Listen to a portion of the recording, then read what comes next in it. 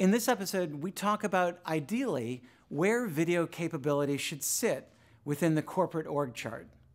As video becomes a bigger um, element in corporate communication, you know, finally, uh, and I think the pandemic might have been, uh, uh, the pandemic certainly was a huge accelerant. Where, what do you guys think about where the best place for a video department, an internal video department to sit within the organization? Is it in marketing? Is it in, in communications? What, what's your experience with that and what, what is your, what, what, how do you see that? Anita, what do you think? Yeah, so um, I really like this question. I would love I would love to be empowered to say where the video department sits in the organization.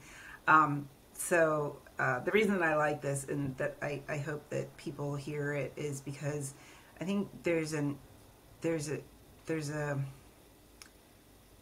the, I think the most important thing about video and people who work in video production is that you know as we've been talking about they're creatives and creative people should be with other innovative thinkers. So if you're in a corporate environment and there's a team that's doing innovative thinking and they are doing creative development work um, which may not necessarily be you know how we typically think of creative. Like maybe they're doing um, you know user design work or they're doing product development that type of thing. I think that sitting with those types of teams is would would be really beneficial for video teams. So it doesn't necessarily automatically have to be with marketing. I think you know putting innovators together would be beneficial um, and I also think that if there isn't a team like that in, in your corporate environment, putting your teams where the person who is able to get the team money really cares about video and understands the value of it to the company.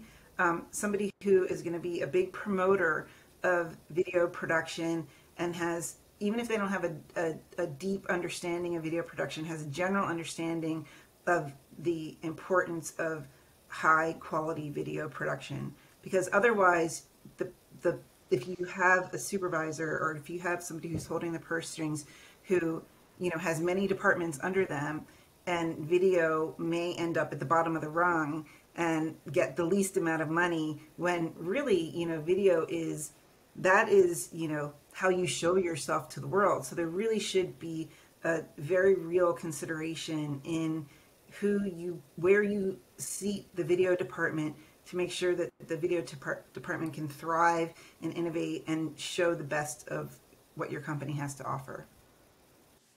Oh, that yeah, that's awesome. That's uh, that is really interesting.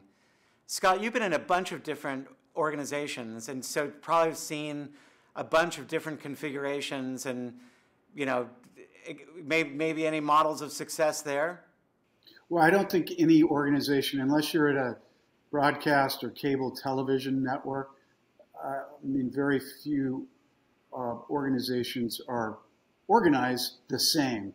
So you always have these weird dynamics of like, why is that group reporting to that team when it should be in the consumer facing group, whether it's marketing or creative or, but I would say that the biggest red flag would be if you want the least amount of impact, then create a silo around that person.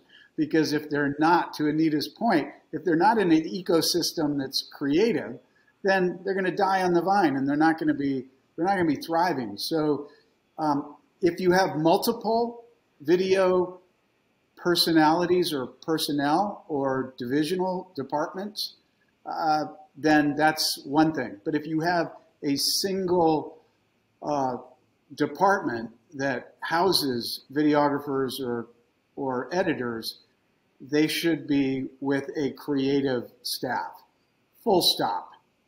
And that may flow up into marketing, but it shouldn't flow up into, I don't know, HR or some other you know, but we could all find organizations that would screw that one up pretty good. Thank you, Scott and Anita. I think as corporations get deeper into their digital transformations and video's power is more recognized for what it needs to be, the in house video studio will probably move around more in corporations' org charts.